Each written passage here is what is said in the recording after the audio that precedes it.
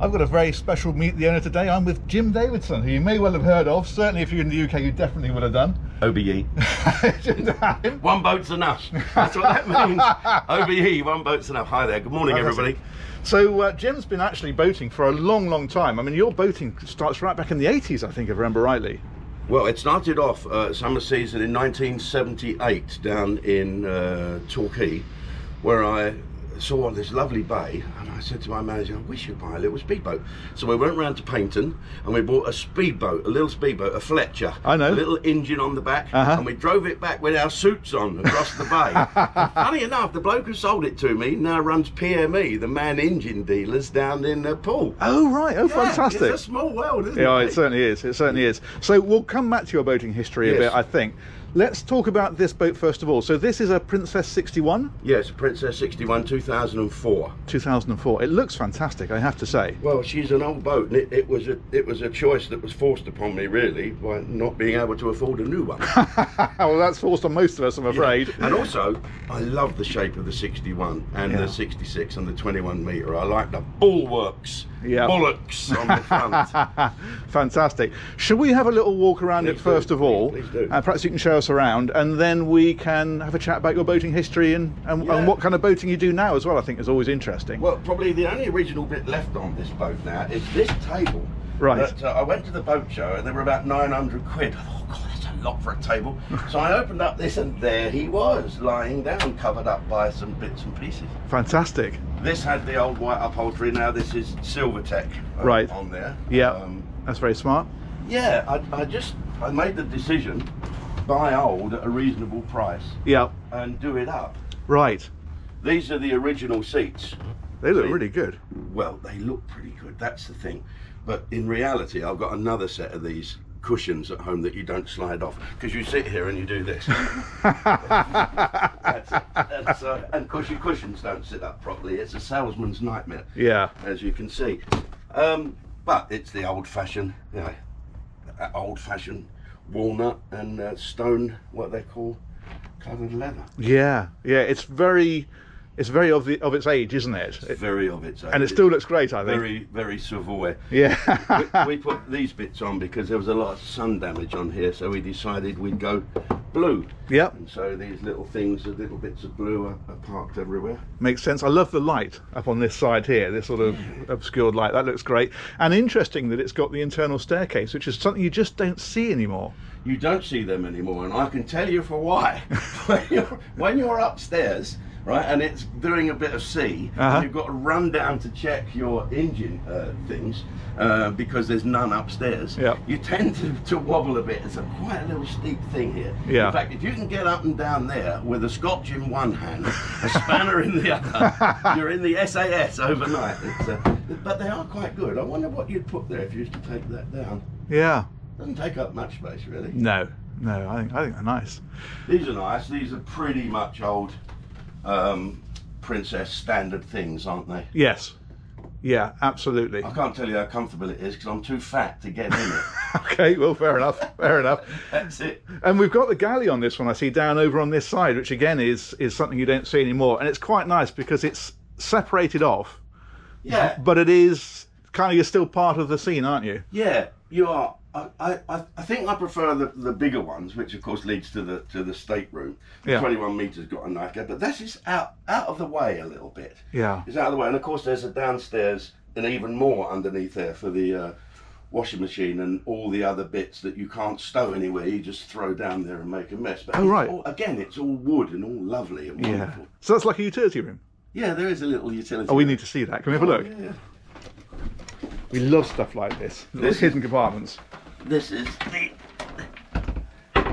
There you go. Oh, look at that. That's brilliant. Yeah. You don't see that anymore, do you? Because it's all full beam master cabin. You shouldn't see it now because I've just No. thrown a load of that stuff down there because you were coming. Brilliant. You, you can put loads of things on charge down there. Uh huh. um, stow stuff out the way, Yeah. stuff that doesn't go anywhere. There's there's always not enough stowage space on boats, especially galleys. Yeah, absolutely. like to cook. Yeah. Yeah, it's like a little junk room, isn't it? Yeah. And up here at the helm, I think you've done a few modifications up here, if I remember rightly.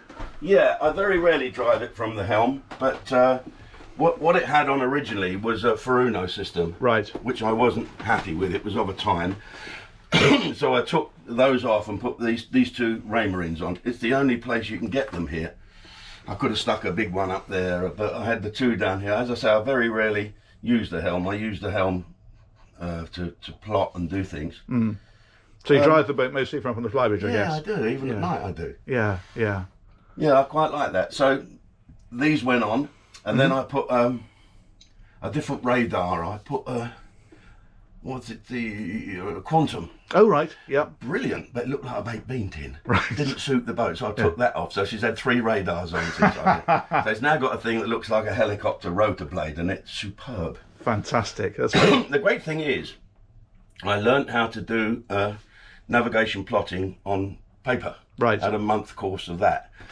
I thought this is brilliant, and then I, of course, press a button and it does it. Does it all for you. Yeah. but it's nice to know the, the principle, isn't it? I think it's a bit like knowing how to add up. Yes, you can use a calculator, but if you understand the basics, Yeah, and it It also more makes, you sit at home thinking, I'm looking forward to my boating, I'm learning about stuff. Yeah. And of course, it helped me with me past my yacht masters.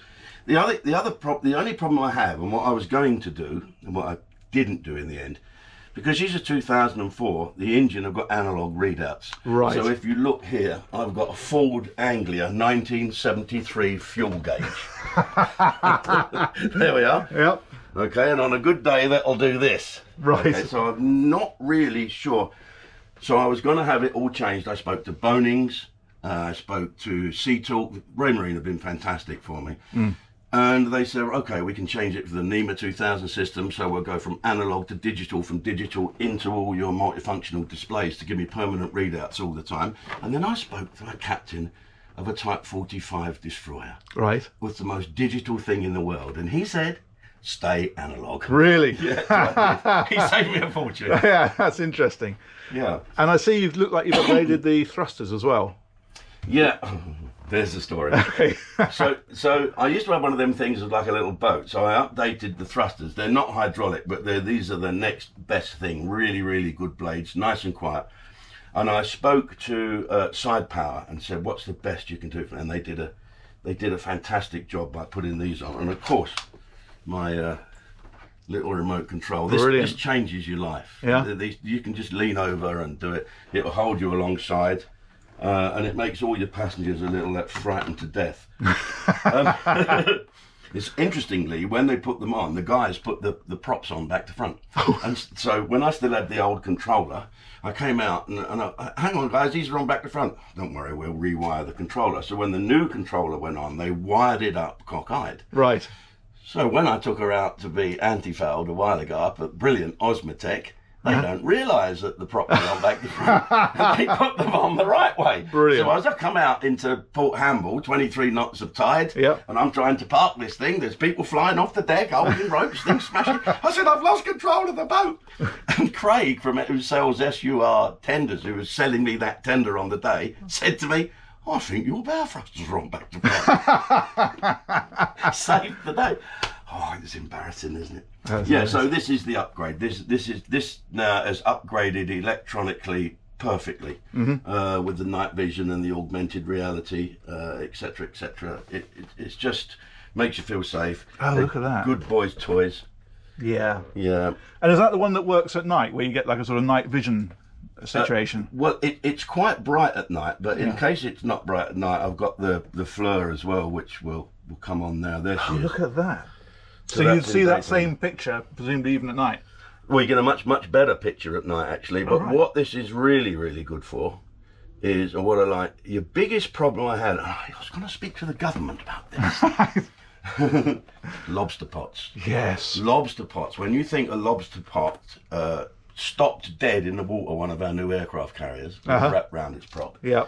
These are dangerous. I had, a, I had a drive shaft pulled straight out of my engines with a lobster pot in mm-hmm. Brighton years ago in the old 55. Yeah. So well, now this will spot them. Oh, Not right. only will it spot them, it will put a little yellow ring round them and bleep, and it will follow them, track them, look them. It will search in front of me and find the lobster pots. That's amazing. and it will alert me, and it's just like looking at the head-up display of a fighter jet. It's just marvelous. Yeah. Well, I had a, an outdrive destroyed on my boat a couple of years ago There you go. by a lobster pot. And what it was, I saw the pot, went well round it, and they'd left a floating line 50 metres long drifting off this pot. You know, that's criminal. That Yeah. because you know if you're, uh, I just think something needs to be done. I mean, our fishermen, we've got to feed the country, and our fishermen are great. We all love the fishermen, Of course. But it wouldn't hurt to have a little, little fluorescent buoy, would it, or a little Little radar, flag. little something. Yeah, that. exactly. Yeah. And, and, and ideally not loads of line I floating love off this. it. Watch this park.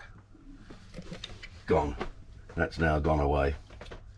And we can go back to uh, looking at people sneaking up behind you. Oh, yeah, fantastic. That's brilliant. That's Should have seen that bit when I reversed my dinghy into the wall the other day, but that's another story. we'll swerve around that. fantastic. Okay? Cool. Should I look downstairs? Sure. Because this is a boat that predates the the full beam master cabin, isn't it? Yeah, yeah, yeah. So if we come down here, this is the VIP cabin, which, which was what you'd get on a 45 or even my old 55 was about this size. Right. the uh, how they've actually found people to make a, a mattress out of granite. Yeah. I've no idea. But, It's uh, impressive, isn't it? yeah, but you know, you need a new mattress. Stick a new mattress on. Yeah, makes all the difference. And these are the loos, which I altered again. Uh, the the old boat had the suction uh, toilets, and I hated it. It kept. We used to have a phantom crapper, as he was called. What was that suction overnight? So Osmotech put in three new electric toilets, which and a new tank system. So now this boat smells lovely. It's great. Wife's really, really happy. oh, you know what So they for say? me, the side power system was the best. To her, the toilets are there. What do they say about wives? Uh, Happy wife, happy life. I've had five happy lives. I, I remember a man saying to me once upon a time, not saying to me, saying to the audience, uh, that uh, that he was not going to get married again. He was just going to find a woman who didn't like and buy her a house. Yes. Well, the worst story ever is my Princess 55 cost me eight million pounds because I said, right, that's it. I'm not getting married again. I'm going to go and buy a boat and live on that. So me and little Kev, my roadie, we went up to the boat show. I bought a Princess 55. Uh-huh. Went to celebrate at the Guinness stand, and the woman that sold me three pints of Guinness became my fourth wife. Wow. Yeah. I actually said to her, "You're going to be my fourth wife here," and she gave me a Guinness cheap. So just just briefly, you're ahead. Just briefly, I was ahead. Yeah. Fantastic. And I see you've got a TV fitted in the in the ceiling on this because again, this sort of predates the. Yeah, Um, well, I inherited these. It, it's uh, let's have a look what it. Th- this actually isn't a TV. Oh, It- right. well, it's not rigged up as a TV. It's rigged up as a DVD player, so you can sit there and put DVD on. They're Ah. makes sense. very rarely used. But, Yeah. uh, I didn't want to take them out because it just leave a bloody great hole. yeah, no, that's fair enough. so that's the VIP cabin. Yes, let's have a little look. Here's the master. Okay. Yeah, it's a decent size, isn't it? I mean, it's not the full beam Until- that you get now. Until you, you know, wife wants to get undressed, Yeah. time you throw the stuff in. Plus, two dogs. Right, Ah. So one dog sleeps down there, the other one sleeps in the middle here. I sleep on the end or in the in the twin cabin, and a, a nice, a nice bathroom Uh huh. ensuite. But again, you're an old boat, so look, that's a bit warped. Yeah. So when you get in, you got to. This is the price you pay for having an old boat. Yeah. But look at this, pristine, brand new toilets. Yep. on a on a 2012 boat or a 2011 boat, old toilets, old stuff. Yeah. You know, it's crazy. Yeah, absolutely. For what it costs to upgrade, it just transforms your life on I'll board, doesn't it? the prices in a second when we sit back up there. Cool. And then we've got the little one here that my brother said it's like sleeping on a ironing board. Well, I quite like this little cabin. Yeah.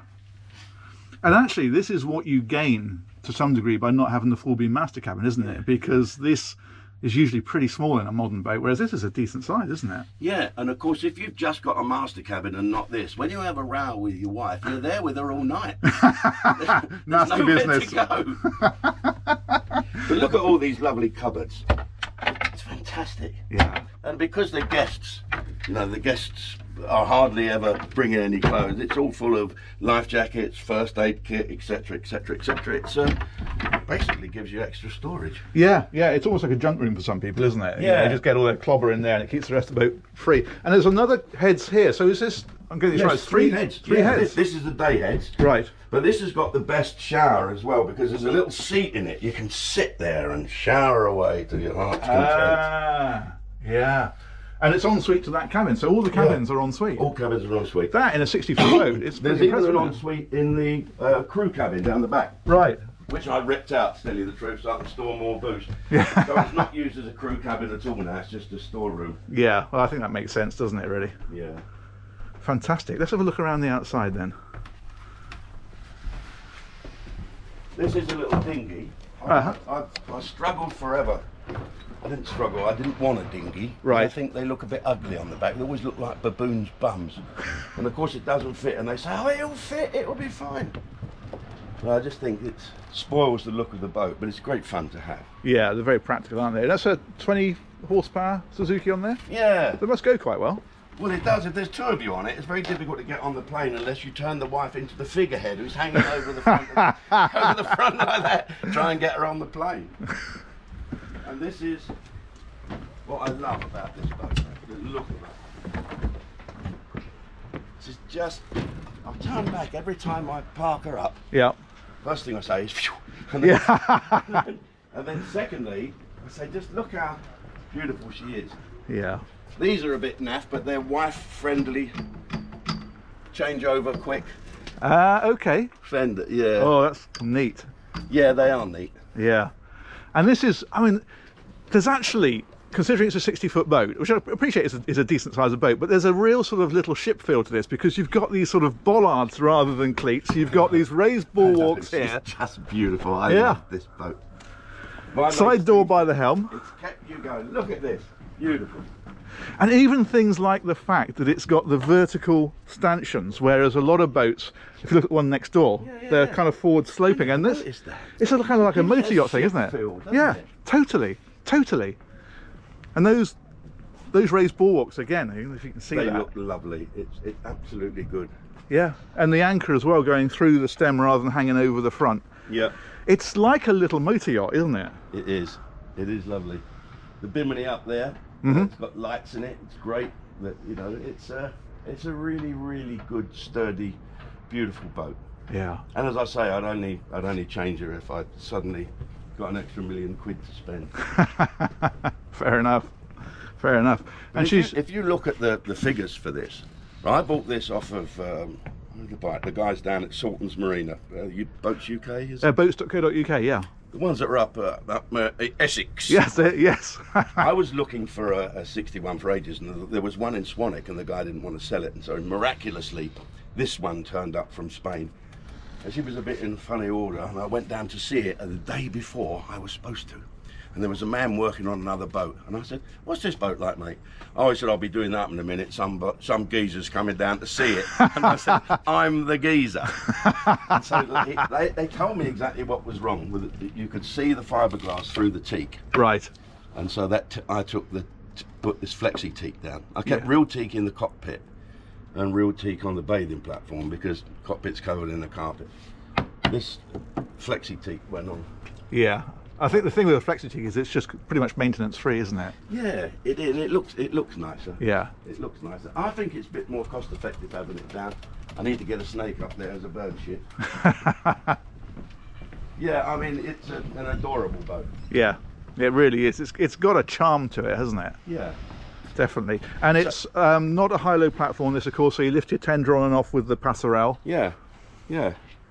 So, what do you do? This is what I've always said to people. Don't be afraid to buy an old boat if you've got the money to do it up because these hulls are fantastic. Princess hulls, particularly. No osmosis or whatever. There's so many firms around now to help you do your boat up. Osmotech built most of the inside of these new bits for me. so I paid 700 and no 373,000 for this boat. A and lot I of boat. about 160, 170,000 pounds on her. Okay, so three, So four. add them two together. Whether she'll be worth that Yep. to someone, I don't know. But this, what I've got here now, is the most upgraded, beautiful 61 Princess in the world. Yeah. And if someone wants a 61, this is the boat to buy. But she's not for sale because there's not another boat I'd rather like unless you go to a 58 Fleming. Even my wife said, I'm not getting on that. That's an old man's boat. I said, the last time I looked, I was an old man. No, understood. And I think you're absolutely right. And what's nice as well is that I think when you go that route, you get to put your own touch on it. Whereas you buy a boat and everything's done, it's just like Yeah. you bought, especially second hand, you've always bought somebody else's boat. Whereas this, becomes your boat, doesn't yeah, it? it does. What I would do in future, what we, we talked about earlier, is I would look at a boat now. There's a, there's a 67 over there, which is okay. She's a 2006, so as old as this one. Yeah. I'd look at it and I'd work out exactly what I want done, price that up, and get it done immediately. Right. Just bit by bit by bit, she's in, she's out, she's here, she's there. Yeah. Get it done how you want it, and then then you you've got a boat for life. This Excellent. boat will last forever now. And she's called Princess Mitchie. There's obviously a reason for that. Well, when I had the 45, I renamed the 45 Afghan planes after the old Princess 55. And I wanted to buy a bigger boat, and she didn't want any of that at all. So, with a couple of glasses of Whispering Angel and, and a few other little drinks, uh, I said, I'll name the boat after you. Okay. So, she was going to be called um, MV Nagging Old Cow. but we called it Princess Mitchie because my wife's name's Michelle. Fair enough. Fair enough. That's fantastic. Should we have a look up on top? See what Sure. you've done up there? Be careful now. This is the best bit. This is the bit that I love. When she's underway, Uh huh. she sits in the water. Fantastic. The trim tabs hardly work at all. Right. Well, they're very well balanced, aren't they? Very well balanced. She sits like a ship, Yeah. and uh, she likes to do 1600 revs. Right. That- that's my cruising. I, I, I can get 16 knots with the tide, you know, an old average tide in the Solent. I can get 16 knots at about 1600 revs, and that's great, which gives me lots of power, but I don't burn much fuel. And I feel she just sits lovely at that. Yeah.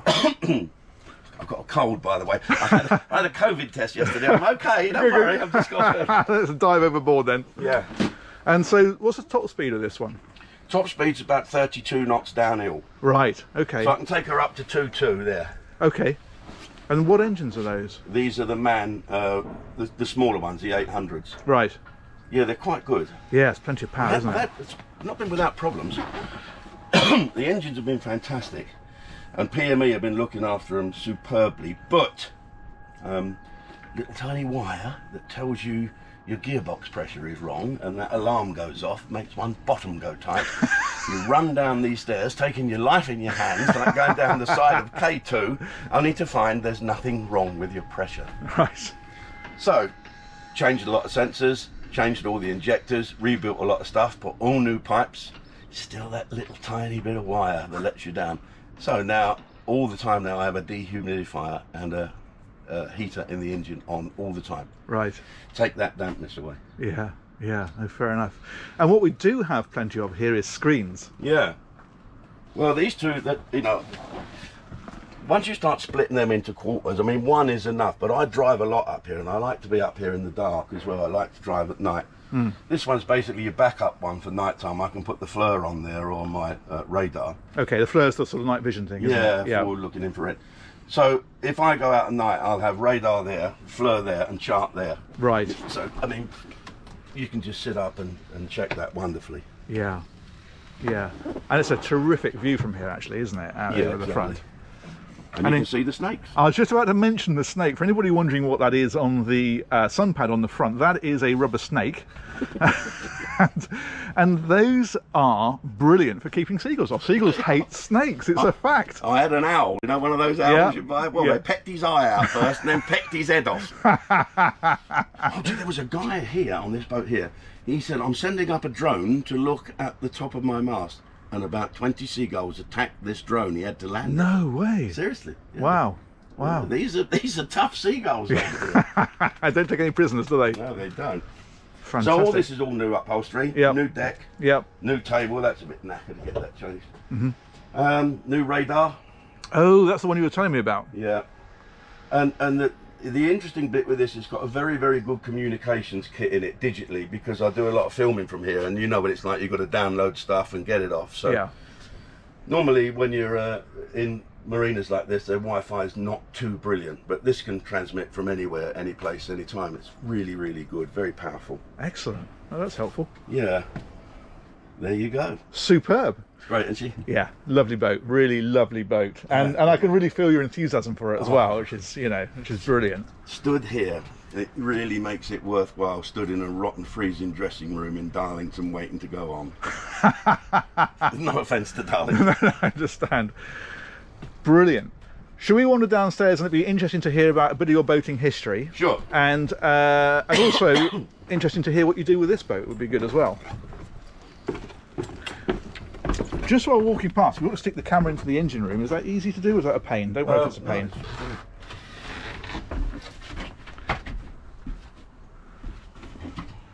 Just move Maggie the baggy. There we go. She's a celebrity now, you know. Oh, what? Maggie the baggy. She's a celebrity now. Maggie the, oh, Maggie the Baggy. Yeah. Uh, hang on, hang on. Uh, that.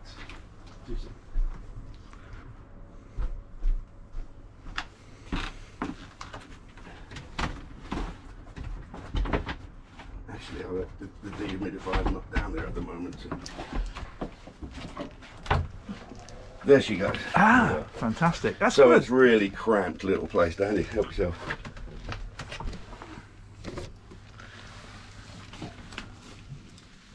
And there we go. MAN 800s, I think you said. Yeah. It's a pretty decent engine room, actually, isn't it? Once you get into it. I mean, you haven't got standing headroom or anything, but you wouldn't expect to. Well, yeah, I have to breathe in to check my oil. Get through those little stanchions. Know, fair enough. and conventional shaft drive, so all nice, dead simple. Gearboxes on the back, shaft that goes out underneath there. Ideal. Cool. I'll come back out of there. Quiet. Now I've changed all the injectors and the valves. Yeah. She's lovely and quiet. Purrs. You okay there? Yeah, absolutely fine. Brilliant. I'm always a bit one-handed with the GoPro. Yeah. Cool. I think your little uh, thing's still up there. I do love your enthusiasm for boats. Oh, thank you. So Fleming or Nordhavn? Oh, well, it depends, I think, how fast and how far you want to go, because you want Nordhavn for sort of really serious range, and Fleming gives you a bit more performance. Yeah. So it depends what you want. Do you want Actually, should we should we sit inside just Sure. because sometimes you get a little bit of wind noise on this, and it, it's uh, it, it helps avoid that. Awesome. So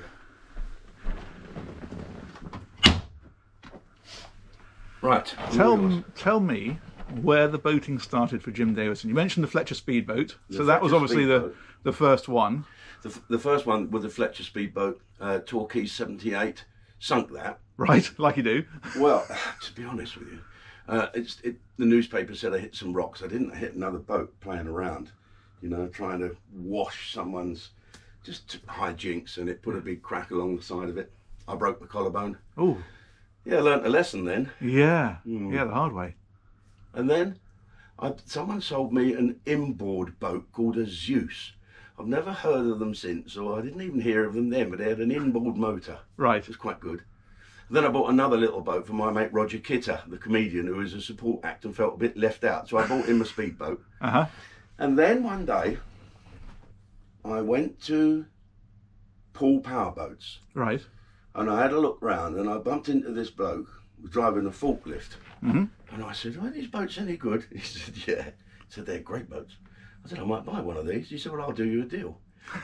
Forklift driver's doing me a deal for a boat. and uh, it was Robert Braithwaite. Wow. Yeah. Yeah. And we were friends until the day he sadly passed. Wow. And I bought a 31 foot offshore. And one day he sat at the boat show with me and my current wife. and he said, Jim, you know, he said, I know you're living away now, whatever, but if you want me, he said, I build, I'll build you a, a, a boat, uh, a Super Hawk, a 43. Uh, I'll build it at cost for you. Wow. And, and she sort of said, in a roundabout, uh, why?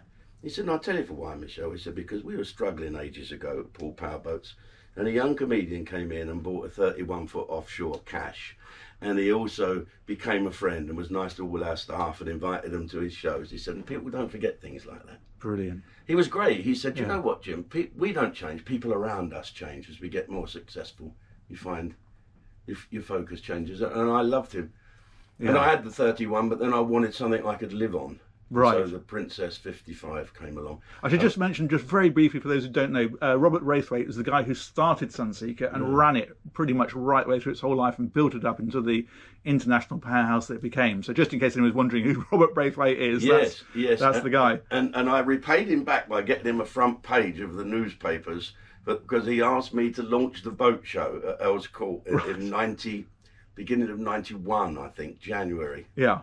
When the first Gulf War was about to happen. So a joke I told while I was on stage was, "What has Baghdad and Hiroshima got in common? Nothing yet," which, which is fine to tell in the pub, Yeah. but not particularly in public. And so I had to apologise a bit for that to everyone in the world. But I said to him, I, I'm, "I need a boat. I can live in London. There's a flat in London, and I can take it down to the summer seasons." So I went to the boat show and looked at a um, a princess. Right. And I remember going to see, what was his name? Piles, David Piles. David Powell, yeah. Lombard. Uh, Was it Lombard Finance? David Powell worked for Princess. He was a There sales was director. another guy, David Piles, I think. It was a bit confusing. Anyway, Yes, I he worked yes, for you're right. Lombard Finance. And Yeah. we had a drink, and I said, "What do you think? What boat?" He said, "Well, it's not for me to tell you what boat, Jim. But what I would say is." Borrow large and pay back long. so I did. I bought. I borrowed the money from him. Borrowed some money. Bought Yeah. the Princess fifty five. and bought those three pints of Guinness that cost eight million. so, so, so that was it. And I loved the 55. She was great. And then I palled up with Vaughan Brown, who uh, I went round Scotland with, with your old pal Steve Carey in the, rib, Yes. in the rib race with the SAS and the SBS and all that. yeah. And uh, and he persuaded me to buy a Princess 65 Right. and I put 50,000 quid deposit down, ordered the MTU engines to fit in it, and then something went wrong. I think it was a divorce. I can't remember what it was. And so that had to be cancelled, and so goodbye 50 grand. So that was the end of Oh. that. And uh, I remember Marine Sea Coal, who were the dealers, said, Don't worry, you'll get that back in the next boat you buy. Yeah. But I never bought another new Princess, so that was the end of that. Uh, uh, so then you're out of boating for a bit?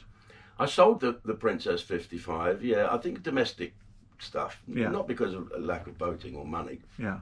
their money. And uh, and then I went to live in Dubai, and I thought I've got to get one of those boats they go out fishing with, like a Boston whaler. Ah. So I got an Al Dhaen. I bought it at the Dubai Boat Show. Right.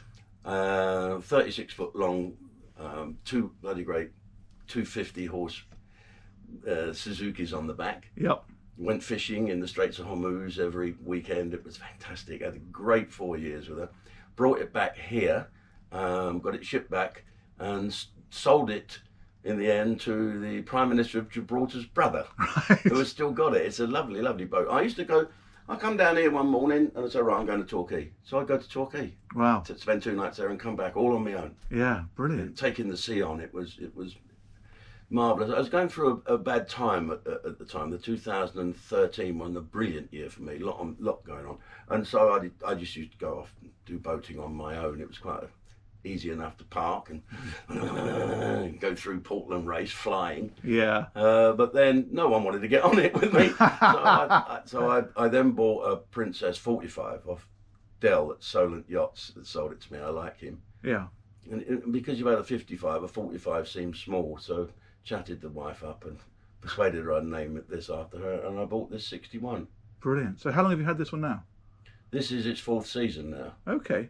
So by next year, really, might be the time to sell her and move on. But as I said, whatever I look at, I quite like the Princess 21 meter. I hmm. think that's the best boat Princess ever made, to be honest with you. Yeah. And uh, but whatever the price is, I don't know. They're probably seven, eight hundred thousand quid. But stick hundred grand on it to do it up. Yeah. It will be a, you know, a year up at Osmotech being turned into a modern boat. Yeah, yeah, absolutely. I think as well, there's something to be said in the UK for once you get much past 60 feet, it starts to become a little bit more of a challenge to get into places and, and that sort of stuff. So I think there's possibly that to be considered as well.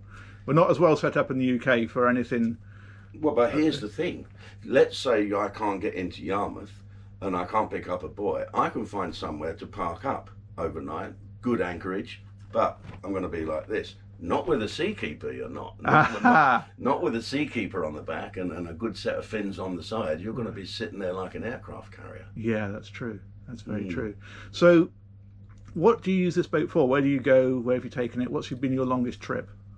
mainly I use this boat for sitting in and writing, making the TV stuff, editing, doing bits and pieces. As I say I've updated all the electronics on it. Yeah. The furthest I've been with this was good fun taking her to London. Right. I enjoyed that and Yeah. bringing her back from London. I'm going to Guernsey this year, uh, August, because I'm doing a gig there. So Uh-huh. the rest of the Solent Boat Squadron are coming with me. So three boats are going down there.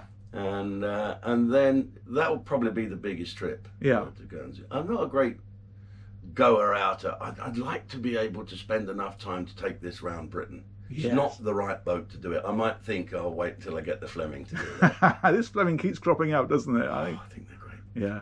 It's because we all want to be captains, don't we? We all want to cruise along and do this and sit there and have all the toys there. you know. Yeah, it's a Um, proper little ship, isn't it? Yeah, now I've done my yacht masters. I want to challenge myself. Yeah. I was dragged across the line there. I think I was so I scraped by with the skin of me teeth, with the man saying halfway through, Jim, you and leading lights are complete strangers. I'm afraid I am. Yeah. fantastic, fantastic. Good, good. And I think we should just touch on as well because a, a lot of uh, aquaholic viewers are from all over the world. Um, and just very briefly, your your history, eh, you know, how you actually made your money and and, and Oh, got well. into this. I mean, obviously for most people they kind of know, but we Yeah. ought to touch on it. I was uh, I I started a rather a thing like the X Factor or Britain's Got Talent, or America's Got Talent. I won that in 1976 as a stand-up comedian. Very quickly, uh, Benny Hill contacted me and said, "Come to Thames Television and meet a producer." Then I joined a, a, series there. Then I had my own Jim Davidson show on top of the bill of the London Palladium, and then I did a, a show about snooker that everyone thought was awful, but we had huge ratings. I remember it. And What- then I took over the biggest show in the country at the time, the Generation Game, and I Oh, did that for seven years. But through all that, uh, my, my my bread and butter work is a live stand-up comedian. I've always been slightly mucky, always been slightly non-PC.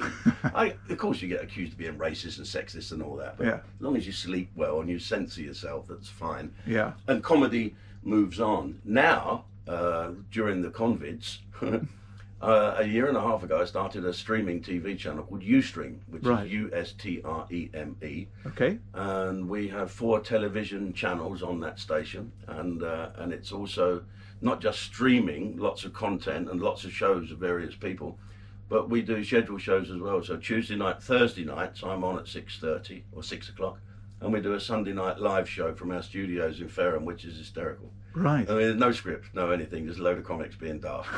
and and uh, that's going really, really well. Uh, Awesome. in, in the 18 months that it's been going, we've now gone through 10,000 subscribers, and we'll be going out to, to business, if you like, where, where people are now investing in the, in the TV channel, which is, which is good.